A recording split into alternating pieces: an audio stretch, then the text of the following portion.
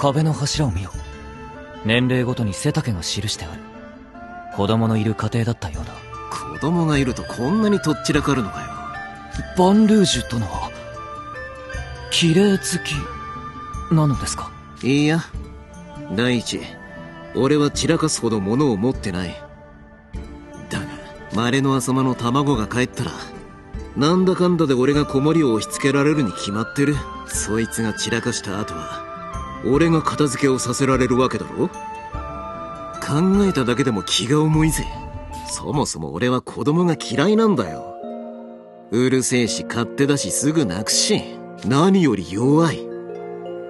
ちょっとしたことでへばっちまうような生き物の面倒を見るなんざ寒気がするね。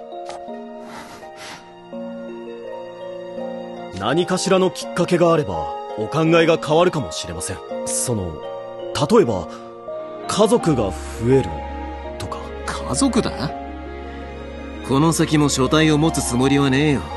これまでもこれからも俺は。